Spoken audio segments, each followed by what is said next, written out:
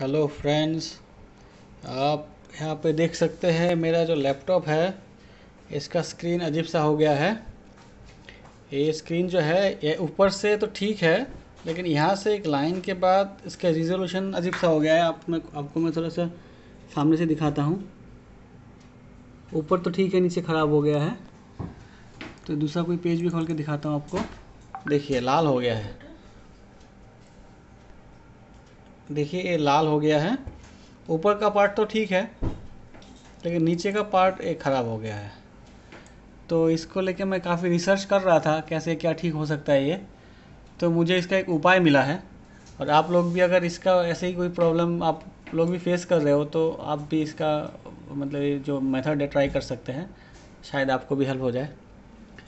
तो ये क्या है, ये आप अगर शॉप में ले जाएँगे तो आपको बोलेगा कि डिस्प्ले ख़राब हो गया है। और डिस्प्ले आपको चेंज करना पड़ेगा। तो मैं भी इसको शॉप में ले गया था। एक्चुअली मेरा ऐसा प्रॉब्लम मुझे पहले भी आया था। तब मैंने इसको शॉप में ले गया था तो बोले कि डिस्प्ले पैनल ख़राब हो गया है तो चेंज करना है। तो वो बहुत डिस्प्ले पैनल का दाम बहुत महँगा बोल रहा था। तो मैं सोचा देखता हूँ क्या क्या हो सकता है। तब मैंने नेट पर थोड़ा सा स्टडी किया और ऐसे ही थोड़ा सा एक दोस्त से भी बात किया। उसने भी मुझे कुछ सजेस्ट किया। देखिए ऐसा क्या होता है? अगर ऐसा है तो आप क्या कर सकते हैं? तो कहा गया। तो आप साइड में ऐसे प्रेस कर सकते हैं। चारों साइड में प्रेस करके देख सकते हैं। हो सकता है कि इधर उधर प्रेस करने पर वो डिस्प्ले ठीक हो जाए। मेरे केस में क्या है, मैंने नोटिस किया है कि एक्चुअली पहली बार जब प्रॉब्लम हुआ था, तब मैंने इसको राइट साइड में ऐसे प्रेस किया ऐसे प्रेस किया था। ऐसे प्रेस किया था, तब ठीक हो गया था।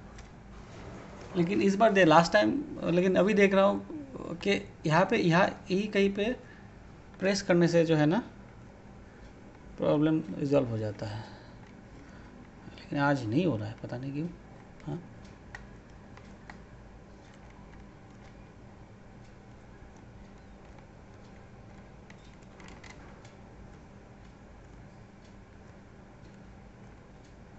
देखिए देखिए दोस्तों मैंने काफ़ी बार ट्राई किया, और फाइनली ये ठीक सा हो गया, लेकिन फिर से प्रॉब्लम आने लगा देखिए, फिर से रेड होने लगा हाँ। अभी देखिए, फिर से ठीक हो गया।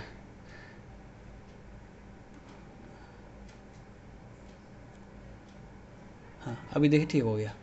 शायद एक ठीक रहेगा अभी, थोड़ी देर तक।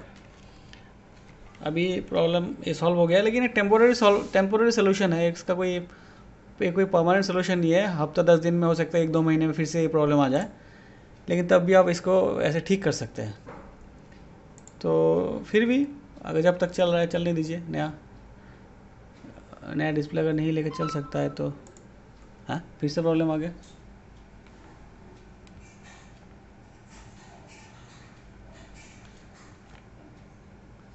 हाँ अभी शायद रहेगा कुछ देर। एनी वे फ्रेंड्स ऐसे आप एक बार ट्राई करके देख सकते हैं। नया डिस्प्ले चेंज करने से पहले एक बार ट्राई कर सकते हैं। अगर ऐसे चल जाए कुछ दिन तो चलने दीजिए। Thank you very much thank you for video देखने के लिए धन्यवाद। और सब्सक्राइब कर लीजिए मेरे चैनल को बहुत जल्दी।